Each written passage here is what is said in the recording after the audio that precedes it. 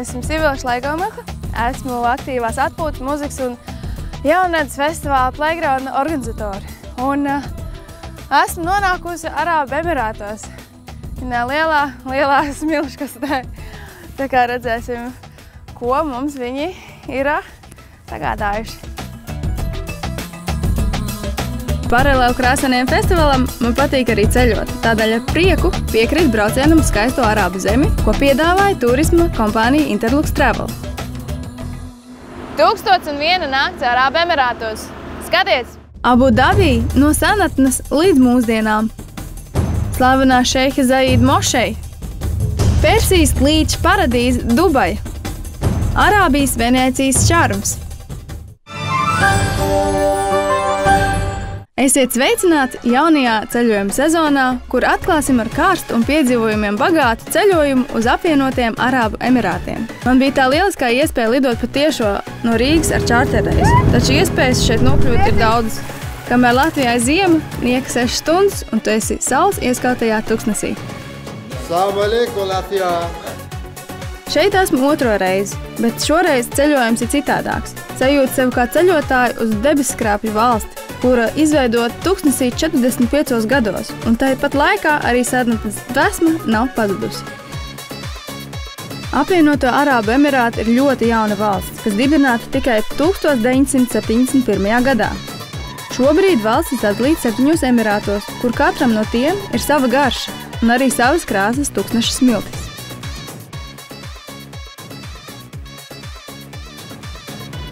Lūk, ceļojums sākās. Jau no liela attāluma ir redzama debesu krāpja torņa. Šīs smailes iezīmē lielāko un arī zaļāko emirātu Abu Dabī.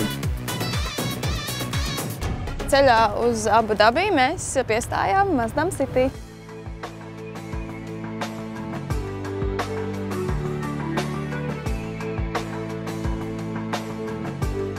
Saules baterijas un daudz, daudz auseklīšu paraugs uh, ideālajai uh, pilsētai, kādai viņai būtu jābūt. Staigājot ar kājām, elektromobīliem, zaļa, visu saules baterijām. Tā kā piemērs mums pārējiem. Mums vēl prātā jāpieaug, lai varētu pieņemt šitādas inovatīvas idejas. Jāsāk ar šķirošanu, un tad nākamā visu. Re, kur ir? Laižam! Cik viņš precīzi brauc, vienkārši. Tās grīdā! Un te varētu tādā driftiņā iet. Ja šis ceļojums man deva iespēju pārvarēt laika robežas, tad apmeklējot nākotnes pilsētu Mazdam City, es nokļuvu gandrīz jau uz citas planētas. Viņš izmanto karsto sauli, karstos apstākļus. Tādējādi rodās tvaiks, rodās mitrums, kas beig galā nonāk šeit lejā un izdalās par šo skaisto, skaisto pilsētu. Līdz ar to viņi ļoti labi izmanto dabu. Un galvenais, mums visiem ir reāli iespēja to piedzīvot, jo šo projektu plānots pabeigt 2030. gadā, izmitinot vairākus desmitus tūkstošus cilvēku. Šitie skaistie kociņi zaļie, tiek apūdeņot ar otraizēju pārstrādātu ūdeni. Un katram šim kociņam apakšā ir trubiņas un vadiņi, kas viņus forši aplaista.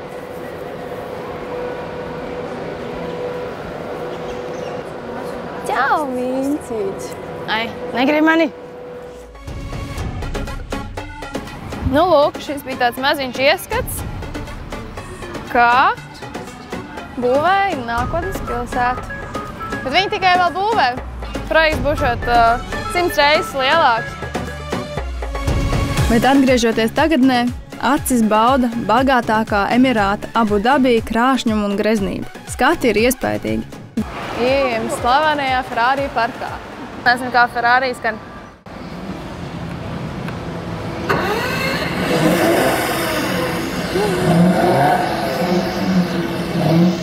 Ferrari paši, bet Lambo labāks.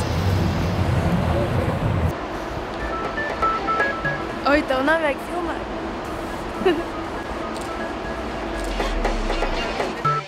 Tas bija, man liekas, sekundes jautājums. Bam, bam, bam, bam. Un jā, man bija gāls lakas.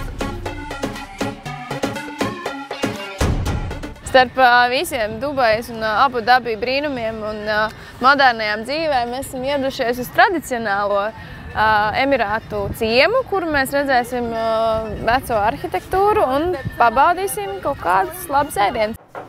Mazajās darbnīcās, kā senāk, skan steļu, klaboņi, ādas apstrādes meistara āmuru klaudzieni, podnieku rips griešanās. Pieliek iekšā smaržīgs, un tad viņš maina krāsu un visu laiku smaržo. Saglabājušās arī ir senās laivas un nojums, kur savu laiku te dzīvoja beduīni. Man personīgi pašai nenormāli patīk uh, oriģinālie ciemi uh, un tirgi. Tā kā tur var atrast uh, to īsto tās kultūras esenci. Tāpēc vienmēr pirmais ir tradicionālie tirgi un tradicionālais ēdiens. Pietiek skatīties, jāsāk mērīt. Štāds smuka, nē. Štāds varēšu arī iet Rīgā ārā, dejot. 60 dirham. 15 eiro. Zīda, koļtiņa. Smuki?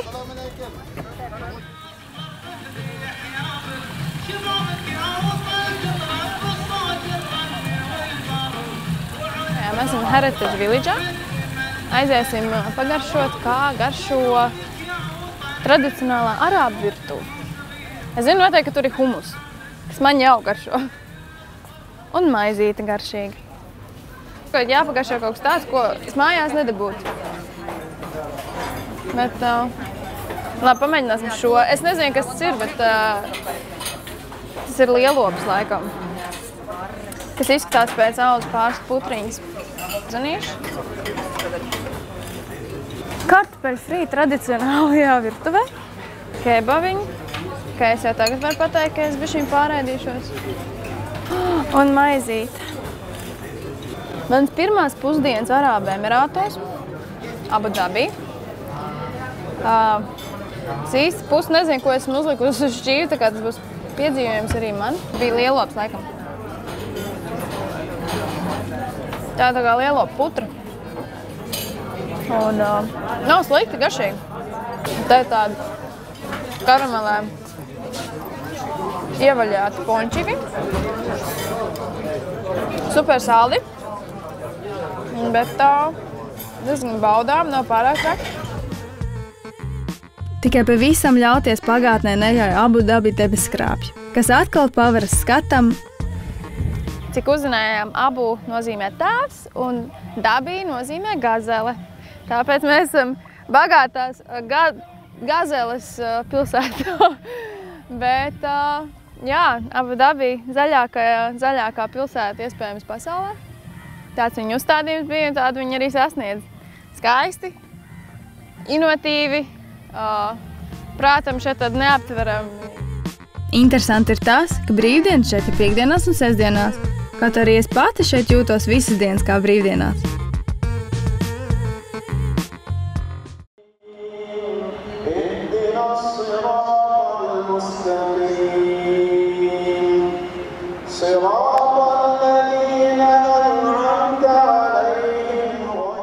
Neiztrūkstoši katras arābu pilsētas rota ir mošeja. Abu dabī krāšņums ir viena no pasaules lielākajām mošejām - Šeiha Zaīda mošeja. Tā ir sastā lielākā pasaulē. Jāuzteic mūsu gide, kura parūpējās par informāciju mošejas apmeklēšanai. Visām dāmām jābūt gariem, turklāt necaurspīdīgiem svārkiem, galvassagai un nekādu lieku mantu. Esmu pienācīgi apģērbusies, tāpēc dodos skatīties šo pasaules brīnumu. Skats ir iespaidīgs, sniegbalta marmora celtne. Šeiha Zaīda mošeju sāka būvēt 1998. gadā pēc kādreizējā pirmā Emirātu prezidenta Šeiha Zaīda iniciatīvas, un to atvērs 2007. gadā. Mošajā vienlaikus var atrasties 4000 lūdzēji.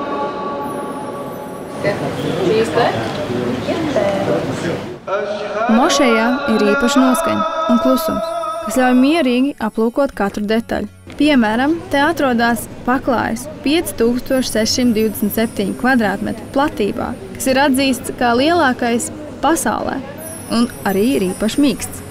Irānas sieviešu rokām darināto paklāju veda divas kravas lidmašīnas. Savukārt lustras klātas ar zelta un svarovskī kristāliem. Vakar krēslā Mošei izzēgojas visā savā varenumā.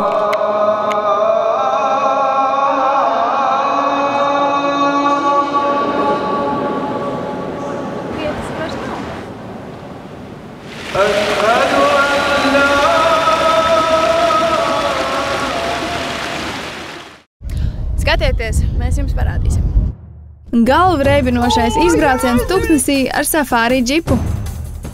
Kur un kādās palmās aug dateles? Pasaules augstākā celtne Buška līfa vakara uguņos.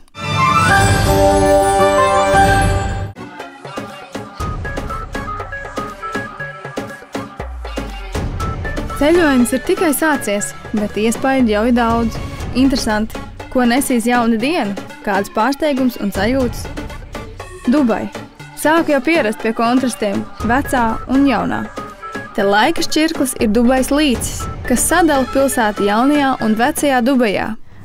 Dubajā biju laikam 2012. vai 2011. gadā.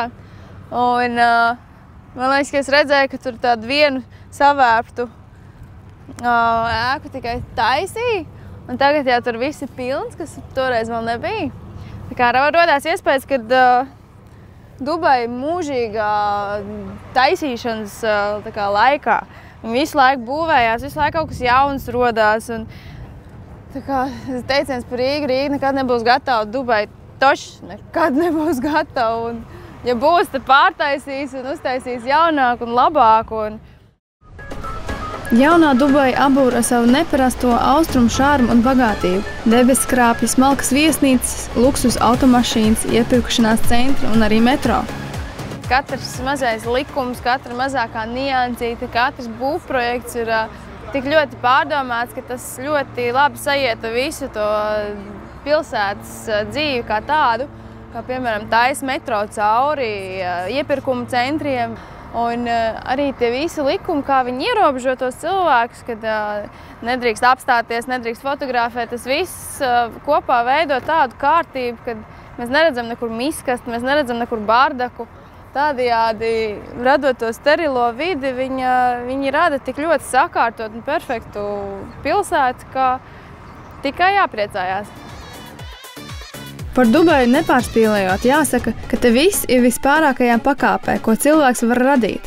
Pati augstākā viesnīca, pati augstākā ēka un pati lielākā mākslīgā sala.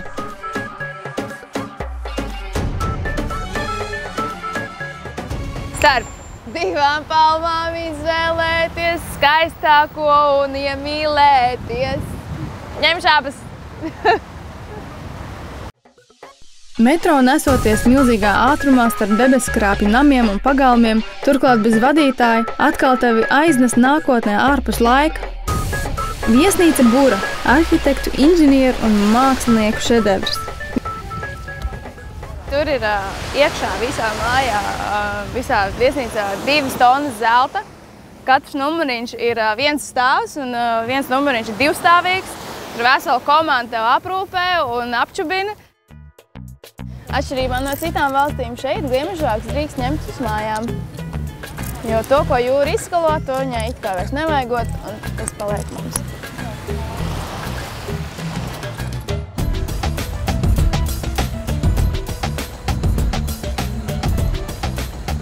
Tālāk mums ir iespēja nomainīt pārvietošanās līdzekli uz laivu vai abru un vērot Dubajas krāšņumu, ļaujoties ūdens plūdumam.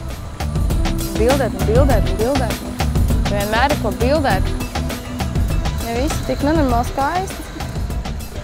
Dubajas Venecija, kas saucās Madina Džumeira, protams, ir mazi kanāli, kuriem cauri vijās kurorta teritorija ar viesnīcām, restorāniem un maziem veikaliņiem. Neizpaliek kārtējā nākotnes pieskaņa paceļot augšā acis, jo tieši Dubajā atrodas pasaules augstākā ēka Burbuļs Līfa. Plāni Dubajai ir grandiozi, jo 2020. gadā šo būvi plāno paaugstināt līdz 928 metriem. Pat labāk šī ēka ir 828 metrus augsta. Visu šo krāšņumu apkopot var skatoties no malas. Brīdis pārdomām man bija Dubajas promenādē. Te var mēģināt saskaitīt visu debeskrāpus vai vienkārši padomāt par to skaistumu. Pasapņot arī par nākamajiem piedzīvojumiem.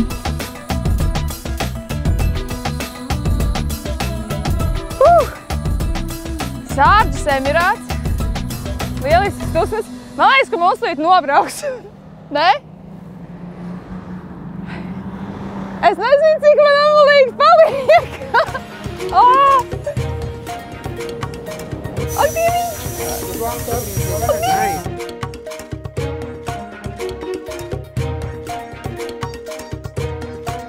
Tā, tā, tā tas reiz tā kā bija vieta par dzīvnieku. Pastāstīja, mums bija putns uz pleca. Huh. Ir pienākusi tā diena, kad es beidzot sastapšos ar tūkstnesi. Bet nevien tāpat, bet ar safāri džipu. Un aiziet! Tas tā kā vidusskolā, kad mēs brāli braucām uz skolu. Visa mūsu filmēšanas komanda brauc vienā džipā, kuru vada pieredzējis autobraucējs. Nu, cerams. Kaudzēm džipi, kā skudrs taranē tūkstnes. Skats ir diezgan iespaidīgs.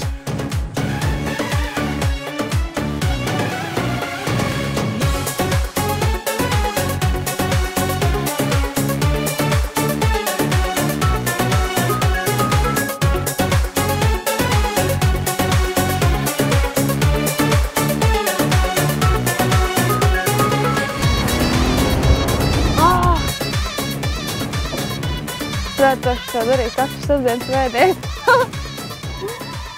o, jēdziņ! Autovadītājs noteikti priecājās par mūsu spiedzieniem un emocijām. Šis ir Huseins, un viņš mums ir šīs dienas lieliskais braucējs. Two, three. Nonākam tūkstnesī, saulrietā.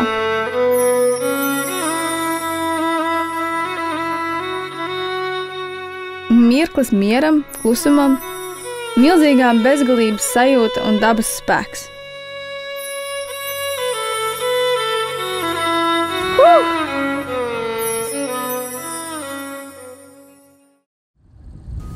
Tiklīdz saule norietējusi, sākās apakaļceļš krēslā, tikpat strauji un vēl ātrāks.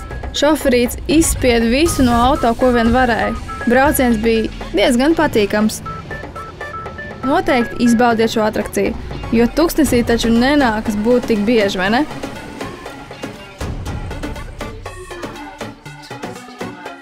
Tūkstnesī ne tikai bija safāri, bet arī beduīnu viesmīlība. Tās pietika mums visiem. Heinas zīmējumi, Šis aizņēma cik sekundes? 30? Ne, mazāk varbūt. Viņiem tāda lieta, ja viņi netaisa īstos tetovējumus, un ja viņi uztaisa īsto tetovējumu, tad, vi- kad viņi mirst, tie cilvēki, kuriem tetovē, viņus izgriež ārā un tad tikai abadī. Viņiem tāds ticējums, ka kāds pasaulē nāca, tāds tev tādam jānodzīvo un tādam arī jānomirst. vakariņas, izbrauciena kamiela, deju priekšnesumi. Tās nav tikai izklaides, bet iespēja tuvāk sajust arābu dzīves ritmu.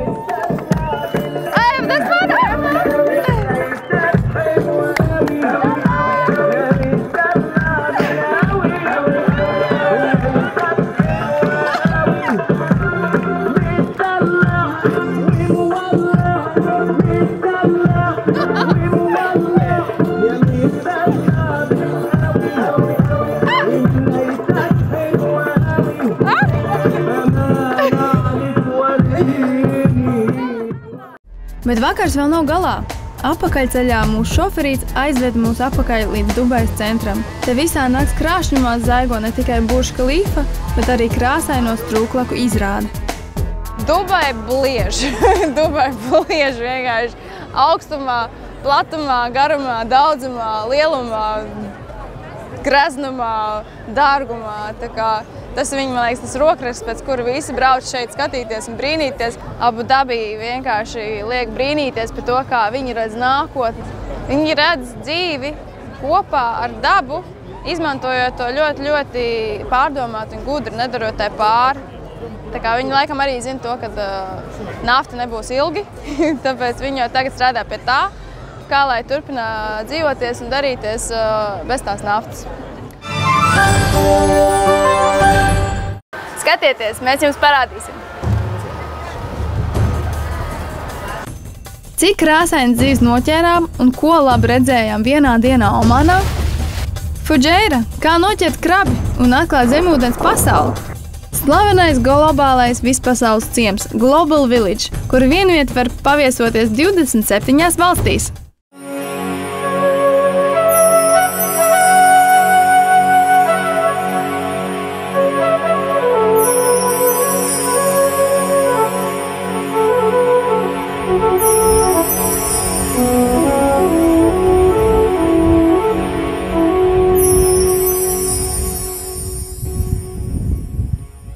Šodiena man ir tūkstneša diena. Tā elpu sajūtu katru dienu, jo dzīvoju Raselheimas Emirātā, blakus tūkstnesim viesnīcā Akācija. Bet pirms to iepazīšu tuvāk, aiziesim apskatīties pilsētu. Ņemam taksi un braucam. Ar tiem Emirātos ir viegli pārvietoties. Visur ir pieejami pietiekoši lēti un var aizbraukt, kur vien sirds vēlās.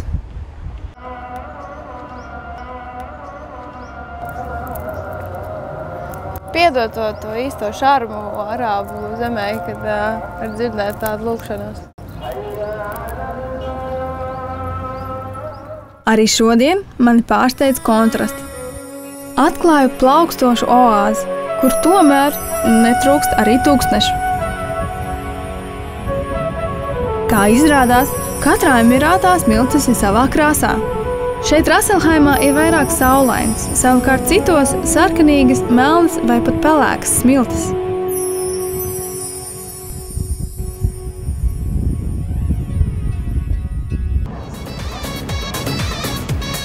Klāt jauna diena.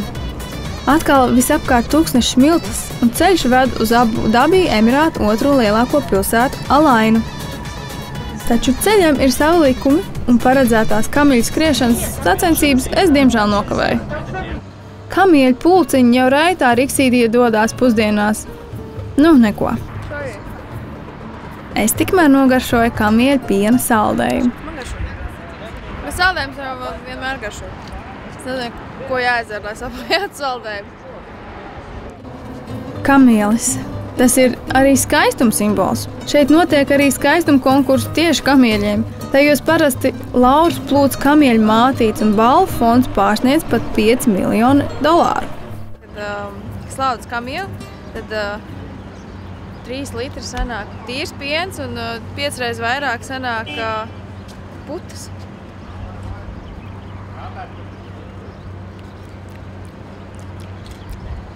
Tāds salkans. Es nezinu, vai man garšo. Bet nav slikts, bet kā šķidrs uh, norvēģis siers. Kamielim nedrīkst nodarīt pāri. Tas ir ļaunatminīgs, un viņa atmiņa ir ļoti laba. Beidzot sasniegt arī Alaina. Lai šeit nokļūtu senos laikos, bija jāiet 140 km pa tūkstnesi. Ceļā pagāja līdz pat 6 līdz 8 dienas.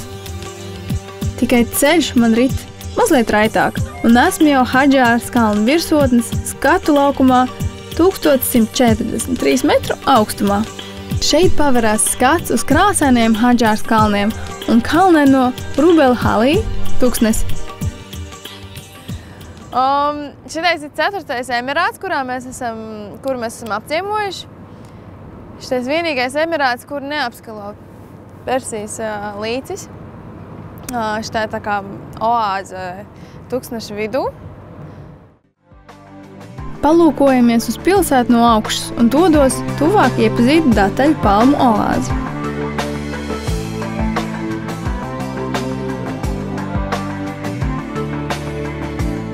Vecā palma ir izdzīvojusi, nodzīvojusi, tad viņai blakus aug mazā jaunā palma. Emirāti ir slavena savām palmu oāzēm, un te nu ir tā iespēja redzēt dateļu, ķekars un panašķoties ar kādu saldumu. Dateļu raži jau ir novākti, bet šis ir tas, kas ir palicis pār no visi. Šādi tas izstās oriģināli. Hmm. Arābu Emirātos ne uz mirkli tevi nepamat pasaules elpa. Ja tu nevēlies apceļot visu pasauli, tad atbrauc šo vienu un atrodi 37 valsts vienā. Slavenais Global Village Dubai. Iesim apskatīties. Izrādās iekšā nelaiž ar šortiem. Tā kā labi, ka man bija līdz šāle un es varu uztaisīt šāli pa kleitu. Kaut kā šādi. Vairāki desmit paviljoni, kas demonstrē visdažādākās pasaules tautas tradīcijas un sasniegumus. Šeit ierodoties, iestājās pilnīgs wow! Medus, garšvielas un rotslietas.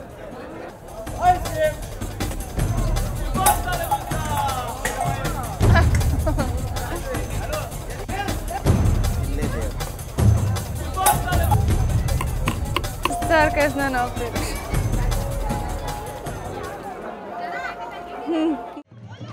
Laiks paskrien nemanot, un par bagātiem iespējām pārņemt, atskatoties, dodos projām. Un domāju, gan jau.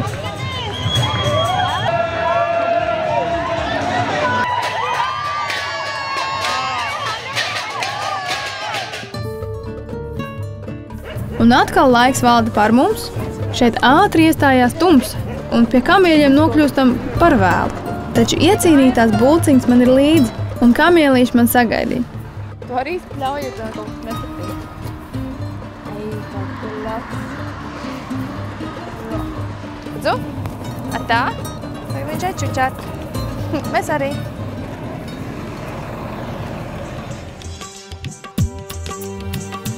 Maršruts ir piesātināts bagātīgs, un es domāju, ka tā bija pareizā izvēle atgriezties Arābu Emirātos vēl vienu reizi.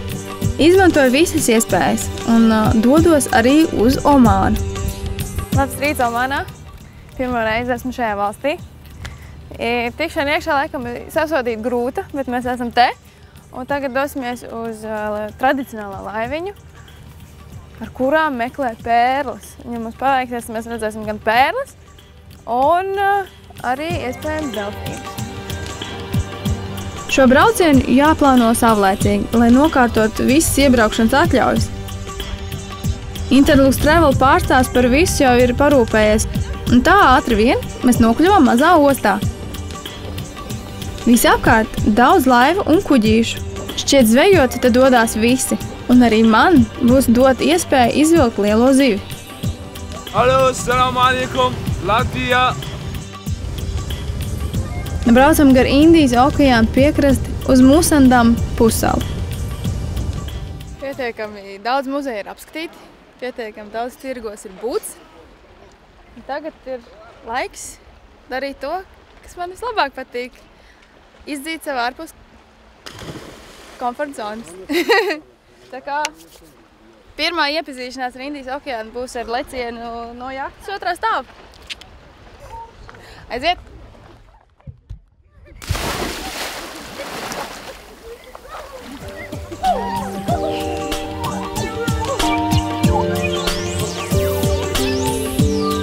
Laguna kādreiz bija pirāta iecienīta pieturvieta, bagāta ar pērlēm, bet par to liecina tikai viena nostāsta. Staigājot pa šķietami pamesto pludmali, sastapām arī zinkārīgas kaziņas.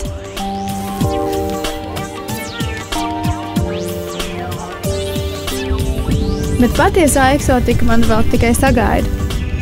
O, taču brauksim iekšā! Jēziņ! Kas krāpējumi tāda tā. Wow! Vietējais laivotājs atklāja klinšu alus noslēpumu. Izmantojot mirkli, kad okeāna līmenis mazliet nokrities, mēs iepaldam alā, kas parasti atrodas zem ūdens. Tādiem maziem um, diemazīšiem. Tā nāca sala.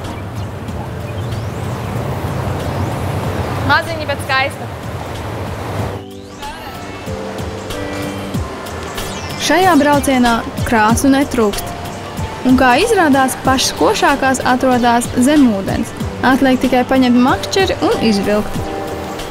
Kopā ar citiem ceļotājiem tiekam pie diezgan bagātīga loma. Krāsaini jūras asari, bara kuda un pat jūras čūska. Paldies Omānai par skaisti pavadītu dienu okeānā! Raidījuma turpinājumā skatieties!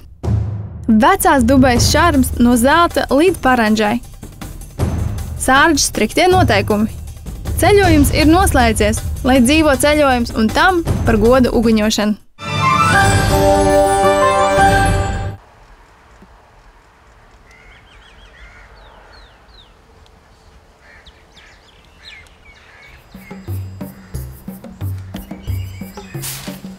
Šodien esam atgriezušies Arābu Emirātos un stāv stingrām kājām uz zemes. Priekšā vēl divi no Emirātiem, katrs ar savu šārmu un stāstu. Esam Fuģērā!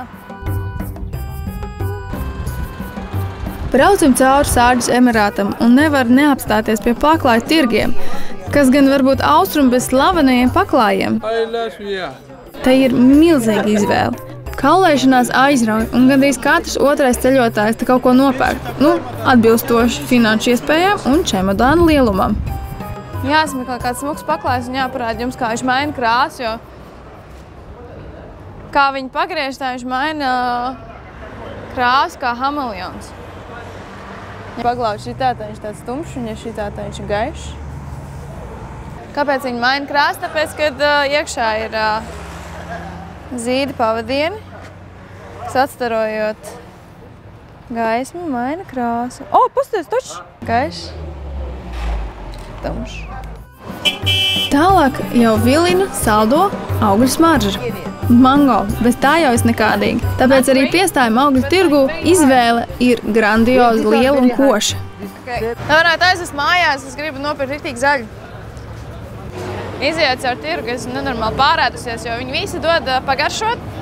Pagaršo mango, mazos banānus, apelsīnus, kaut ko tādu, ko es nezināju, ko es ēdu īstenībā gal galā. Baigi garšīgi. Un uh, foršs, man patīk tirgus. Blakus esošajā dataļu veikalā atklājam dataļu saldo pasauli. Dateles šokolādē, dateles baltajā šokolādē, dateles ar riekstiem un arī lielās karaliskās dateles. Tā nu saldums izbaudījis, esmu nokļuvusi Fuģeirā.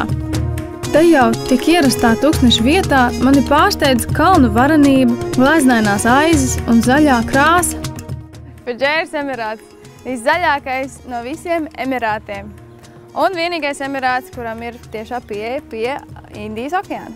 Indijas okeāns un kalni rada subtropu apstākļus, lai varētu lieliski audzēt gan augļus, gan dārzeņus un visu ko citu garšīgu. Pilsētas centrā atrodas cietoksnis, nevis debeskrāps. Tas šoreiz dod iespēju sajust seno laiku pieskārienu, visi mazāks un arī šaurāks. Albadija mošeja ir uzcelta tāda pati kā Stambulā, tā teikt, kopija. Šī ir otrā mošeja pasaulē, kurai ir seši torņi, četru torņu vietā. Izrādījās pēc leģendas tas pārpratums, jo ā, vārdiskā nozīme torņiem seši un zelts bija dažādas tās nozīmes. Īstenībā sultāns gribēja no zelta torņus, bet tad celtnieki uztaisīja seši. Tur interesantais fakts par tiem torņiem ir tāds, ka var redzēt, ka katrā spicītē tie mēnestiņi ir savādāk. Tas nozīmē, ka ā, tos torņus, torņa pamatus sāka likt konkrētā mēnesis fāzē. Kā var redzēt, tiem torņiem ir savādāk veids tas mēnesiņš ieliekts, un tam viducītim ir pavisam šāds torņ, ā, tas mēnesiņš ieliekts. Tomēr pietiek ar vēsturi. Karstā saule dara savu, un gribās atkal peldēties un atpūsties pie ūdens.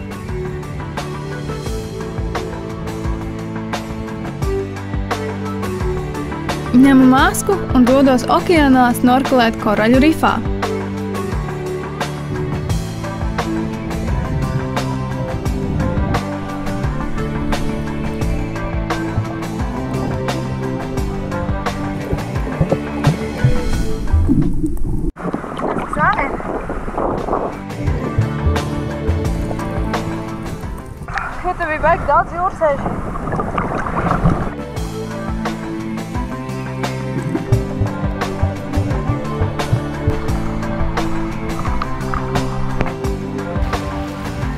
Krastā mani sagaida krabas un pilnīgi nevietā radusies sajūta, ka ceļojums drīz būs galā.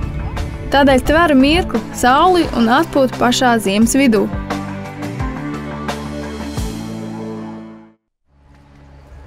Šajā piesātinātajā ceļojumā man ir gadījusies arī brīvdiena, bet man nenesās prāts uz mieru un nekādu saules baudīšanu. Es vēlos doties atpakaļ uz Dubaju, jo man mērķis ir skaidrs. Es vēlos uzbraukt augšā līfa virsotnē. Noīrējām busiņu septiņiem cilvēkiem, un mēs ceļotāji bariņš devāmies atpakaļ uz Dubaju, lai uzbrauktu augšā uz Buržka līfa 124. stāvu.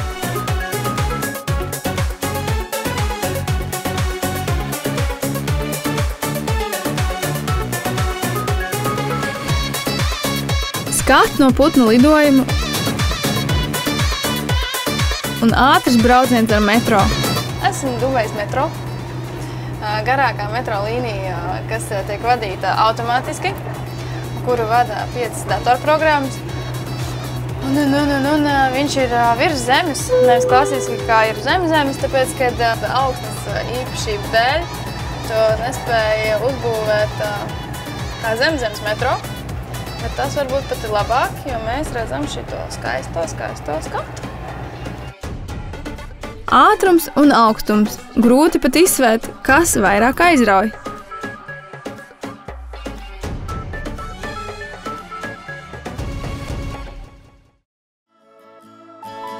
Pēc pasaules augstākā der tikai pasaulē lielākais. Esiet sveicināti brīnumdārzā Miracle Garden Dubai. Ziedu parks Miracle Garden. Tieši tāds viņš arī ir. Te zied 45 miljonu dažādu ziedu, vairāk nekā 60 dažādās krāsās. Riktīgs sieviešu paradīzīte rozā, lilā un violetās krāsņās. Jaunā Dubai ir apskatīta, un rīt es jau tikšos ar veco Dubaju.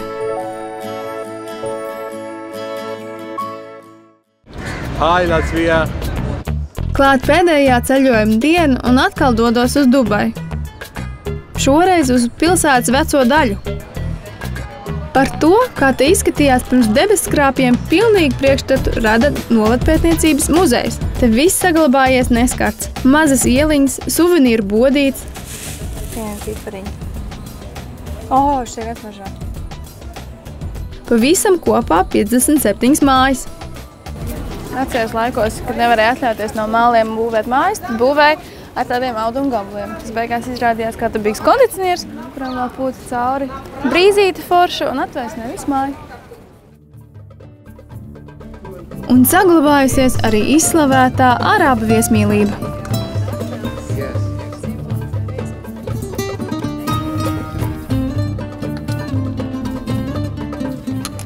Šāds ir īpašs šaudz, kas ir pa. Mani pacienā arī īsto arābu kafiju, kas ceru mani veldzēs karstajos saules staros. Jā, tā garša ir ļoti spēcīga. Ne tā kā kafija, bet vairāk tā kā garšvielu kafija. Tās veldzējošais noslēpums slēpjas pievienotajās garšvielās. Kardamons, safrāns, krustnegliņas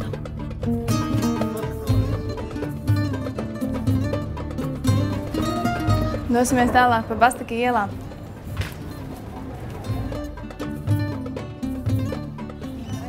Zīmēts, ā, glaznots ar kafiju.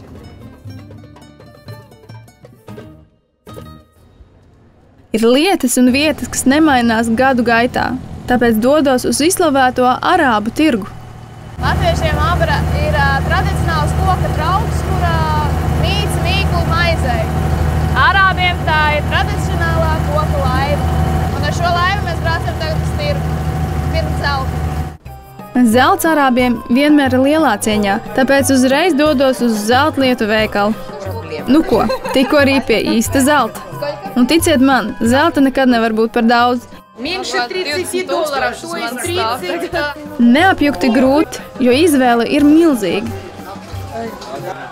Hello.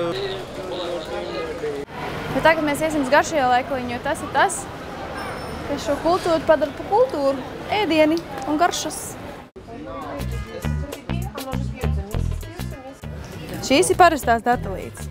Šī tā ir jau lielāks datelītes, un šīs ir karaliskās dateles. Lielākās dateles, kas tur ir.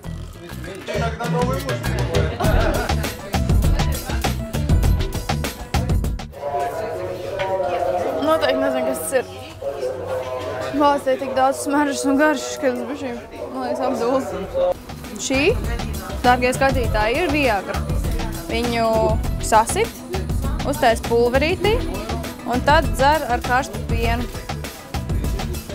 Un viņš teica, ka tas nav man, tas ir manam papucītei.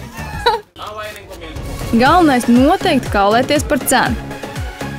Es saku, ka jūs ejat uz tirgu, paņemiet ļoti daudz uh, mazas naudiņas līdzi, jo viņi tev vienkārši paņems visu un nerados apakaļ atlikumu. Un nereti gadās arī tā, ka iecerētā pirkuma vietā tiek nopirkts pilnīgi kaut kas cits, vai arī pilnīgi citā daudzumā. Vietā, kurā es iegādājos ļoti skaistu lakatus, beigās arī mērīju paranžu. Kāds man bija sajūts, skatieties paši. Šādas izskatās tradicionālāk. Nē, bet es esmu spēlpa. Vecā Dubai nu ir apskatīta. Tālāk ceļš ved uz Sārģis Emirātu, kur apmeklēsim Sārģis pilsētu. Šajā emirātā valda stingri noteikumi. Esiet laipni lūgt Sārģā, trešajā lielākajā emirātā, kas atrodas blakus Dubajai. Tad cik šeis pats nepīpēja un nedzer, tāpēc viņš arī to arī neļauj saviem uh, iedzīvotājiem, tāpēc ir ļoti strikts savsais likums, un pat rociņā sadevušies jūs nedrīkstat staigāt pielām. Emirātos likumi jāievēro. Nevelti tieši Sārģis pilsētas Islāma muzejā atrodas Korāna oriģināls. Šis ir piemineklis Korānam. Pašu Sārģis pilsētu bieži dēvē arī par Emirātu arhitektūras galvaspilsētu vai Arābu pasaules kultūras galvaspilsētu. Pieminekļi un muzeji te atrodas uz katra stūra. To kopskaits ir iespaidīgs - vairāk nekā 17.